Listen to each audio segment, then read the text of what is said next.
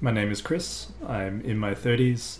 Uh, I'm an engineer and I'm also a game designer as well. It's necessary that people step into action. At the moment, we have an unfolding emergency, the climate emergency, and the natural world's breaking down. And it's up to people like us, you know, people of, I suppose, moral respectability to step into action and to treat this like the emergency it is and to take action that's proportionate. And proportionate action is action that's disruptive, action that increases the cost for those who are doing the harm.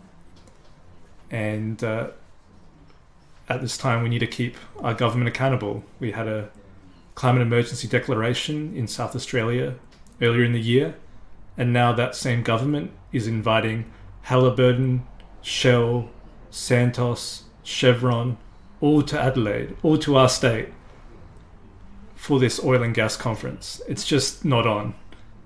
So we need to stop it. We need to blockade it. I hope that it increases the cost for those that are willing to cause us harm because that's really what's happening right now.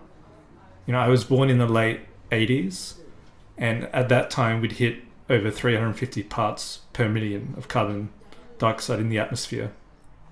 And so I was born into a world where where it was already too hot. Like emissions were already at an unsafe level.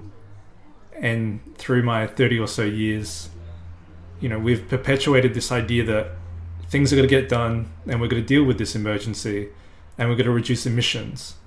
But in that time, emissions have increased, right? Since we've known about it, you know, our governments have been systematically lying to us about the seriousness of this crisis and all of these companies are profiting madly off of it knowingly. You know they know what they're doing. They know and have known since the 70s about this problem even earlier than that.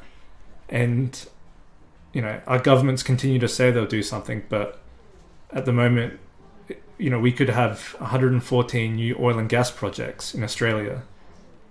It's disgusting. It's disgusting that these people can come to adelaide and hold their conference it's disgusting that they're going to do it again uh, next year for the APPEA conference in Adelaide. It's disgusting that a government that declared a climate emergency is allowing this to happen. And, you know, we have to stop it. Like, that's what needs to be done now. And I'm prepared to do what's necessary to stop this industry. Yeah, so I suppose I'm with Extinction Rebellion because Extinction Rebellion understands what's at stake and they treat it seriously you know, we've had over 30 years now of people doing marches and petitions and meeting with politicians and all that stuff is great and it's important that we keep doing that. You know it's a display of the power and the love that we have to protect you know earth you know our only home. But that hasn't worked and so we need to step into resistance right? That means day after day returning and disrupting the fossil fuel industry and forcing the government to make a decision. You know, are they on the side of us, the non-violent protesters who are here to protect the planet, or are they on the side of the fossil fuel companies? Right. It's really simple, and that's why I'm with Extinction Rebellion. There's a great crew here. We look after each other. We care about each other.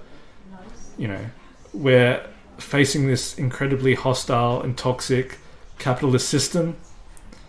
And it's good to be around people who care about each other and look out for each other and are sort of building the new world in a way.